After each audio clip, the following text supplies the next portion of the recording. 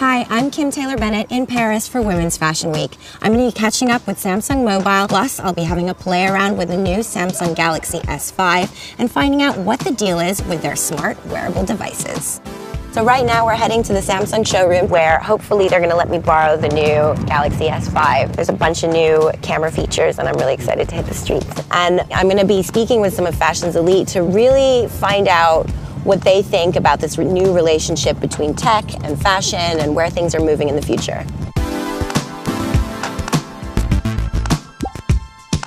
Hi. I'm Kim. nice to meet you. So you're the guy who's going to tell me everything about the new devices. Absolutely. So as you can see, this is the Galaxy S5 and some wearable devices uh, called the Gear 2 and the Gear Fit. So what we're going to do, just take this device here, tap on the camera. Now what this does, we can see a 0.3 second autofocus. Now that's the fastest in any smartphone across the world.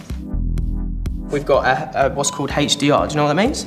I don't. That means high dynamic range. Makes it nice and bright.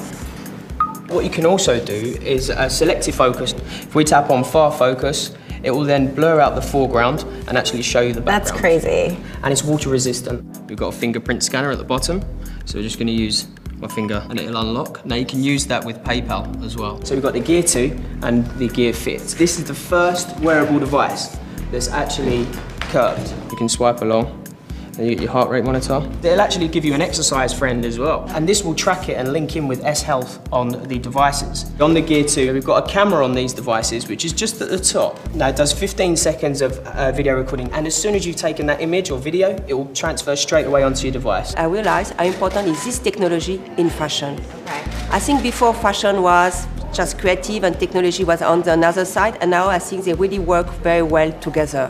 What I want is very new for me. I want to use the power of the, I will say the, the technology to make something different. I think this is for me genius. First of all, it's bigger, so I can see much better. It's quicker, everything is quicker. It's not complicated, it's just much better. Can I take a picture of you guys right here? Yeah? You guys are posing well. You're posing well. In terms of like fashion and technology, do you think that one is kind of fueling the other and pushing things forward? I mean, I think definitely fashion has been um, reimagined by technology. Internet is like the most. The most? Important, yeah. How important is having a good camera on your phone? Very important. Yeah, otherwise I wouldn't, I would get another one. This is oh, everything. Cool. So it's like super duper fast. It's amazing. Like, yeah, it's good. Okay, this, this, yeah. Picture, no immediately. It's the quality is so incredible, but I like it. You know, I'm a dreamer and I like to see fashion as a dream, and I think with this technology, you can be more and more a dreamer, you know? That's what I like. So that's the end of Paris Fashion Week 2014. I got to try out the new Samsung Galaxy S5 and learn a little bit more about their wearable technology. And I spoke with fashion legend Carine Roitfeld. It's been amazing to see how fashion and technology are really working hand in hand these days. I can't wait to see what's up next.